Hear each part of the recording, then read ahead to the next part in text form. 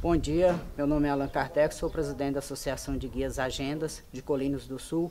Estamos aqui recebendo mais uma, uma leva de cestas básicas da Chapada Solidária e estamos é, sendo contemplados aí com a associação com 130 cestas e a gente levou para Colinas, para a comunidade, 250 cestas.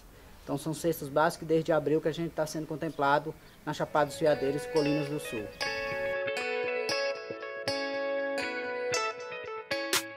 Bom dia pessoal, eu sou Felipe, sou condutor da Associação de Guias Agendas de Colinas do Sul. Venho aqui falar através de todos os condutores da Chapada de Veadeiros.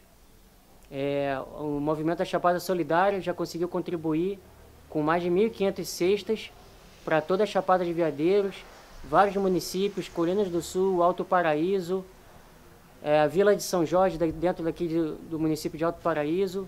Também chegamos em Monte Alegre, Teresina de Goiás. Então o movimento está sendo bem importante para todas as famílias de condutores, de moradores locais, de raizeiros, de todo mundo que foi afetado pelo turismo, porque nós estamos infelizmente impossibilitados de, de qualquer trabalho e a maioria de nós a principal renda é só através do turismo.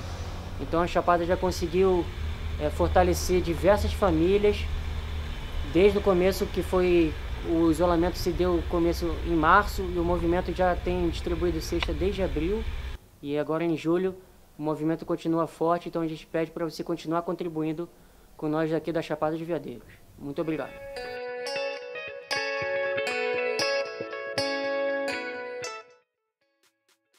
Até 75 quilômetros de, de alto.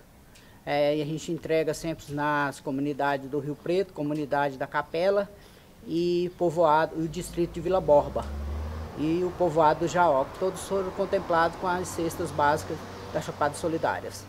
Além de é, pessoas ribeirinhas, é, piloteiro da beira do lago Serra da Mesa também foram contemplados.